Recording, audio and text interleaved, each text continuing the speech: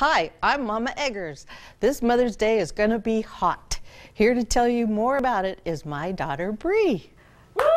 Wow, thanks for that intro, Mom. That was really impressive. We put her to work yesterday when she came to visit us here at Idaho on Your Side, and she even brought treats. So I really appreciate that, Mom, and happy Mother's Day to you for giving birth to me, the 10-pound baby that she had back in 1984.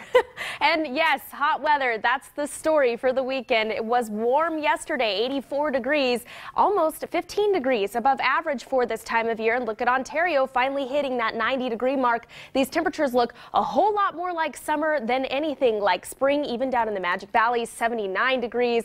The whole Snake River Valley is going to be heating up for the weekend as that high pressure ridge really builds in.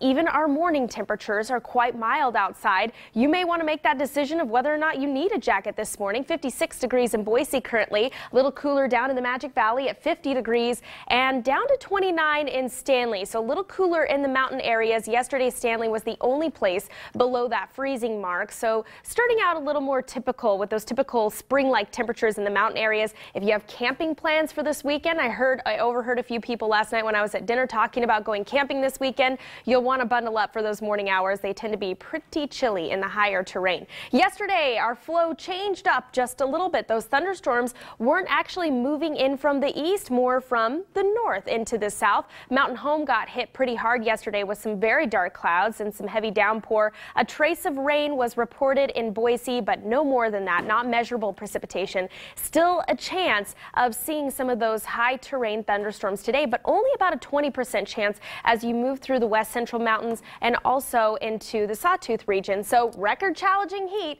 that's what's moving in as that high pressure ridge really shifts in and takes hold of the west. And what goes up in the west comes down in the east. So you can see that cool blast headed for the Great Lakes region and warmer temperatures for us, hot down in the southwest and really quite hot here in the Treasure Valley with those temperatures in the mid to upper 80s today. 91 for a forecasted high for Ontario. It just keeps getting warmer and warmer and again, I said record challenging heat for Sunday. The record for Boise, 94 degrees. I don't think we'll quite make it up to there, but definitely into the low 90s. Magic Valley finally into the 80s today. West Central Mountains warming up quite nicely. Long Valley, what a pleasant day for McCall, Donnelly, Cascade, looking at those upper 70s. And again, lots of sunshine in the morning, clouds building in in the afternoon for that slight chance of seeing an afternoon to evening thunderstorm. 20% chance. Same story for the Stanley Sun Valley area. Fairfield making it up to 76 degrees, quite comfortable, and then really warming up for the weekend. 91 for my forecasted high for Mother's Day.